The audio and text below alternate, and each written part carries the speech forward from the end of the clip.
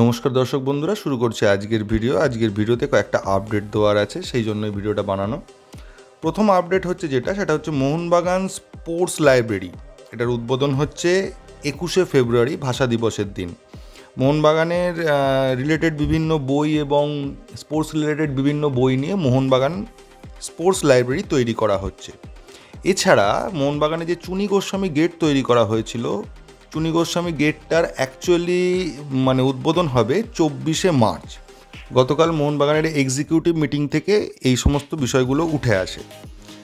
Next যেটা আছে, সেটা হচ্ছে যে মোহনবাগান স্পোর্টস একাডেমি হ্যাঁ মোহনবাগান স্পোর্টস একাডেমি যেটা বন্ধ হয়ে গেছিল, সেই মোহনবাগান স্পোর্টস একাডেমি আবার শুরু হচ্ছে আমোজি ইন্ডিয়া বলে একটা ব্র্যান্ডের আন্ডারে কিন্তু এটা হচ্ছে ক্রিকেট একাডেমি অ্যাকচুয়ালি এই বিষয়ে দেবাশিস দত্তকে প্রশ্ন করা হলে তিনি বলেন যে অ্যাকচুয়ালি ফুটবলের সমস্ত বিষয়টা দেখে এটিকে মোহনবাগান কর্তৃপক্ষ এবং এটিকে মোহনবাগানের একাডেমি আছে এবং তারা ইউথ ডেভেলপমেন্ট নিয়ে কাজ করছে এবং জোয়ান ফেরান্ডাও ইউথ ডেভেলপমেন্টের ওপর প্রচণ্ড জোর দিচ্ছে। তা ওই বিষয়টা টোটালি এটিকে এমবি ম্যানেজমেন্ট দেখছে, এখানে মোহনবাগান কোনো হস্তক্ষেপ করছে না।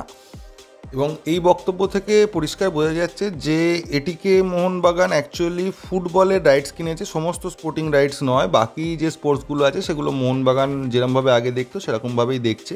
এটিকে মোহনবাগান শুধু ফুটবলের বিষয়টা, সমস্তটাই প্রায় ওদের হাতে নিয়ে নিয়েছে এবং ওরা ফুটবলের ডেভেলপমেন্টটা টোটালি দেখছে। তো এই ভিডিও এইটুকুই ছিল, আর কিছু বলার নেই। যদি ভিডিওটা ভালো লাগে প্লিজ চ্যানেলটা সাবস্ক্রাইব করবেন। থ্যাংক ইউ ধন্যবাদ। জয় মোহনবাগান।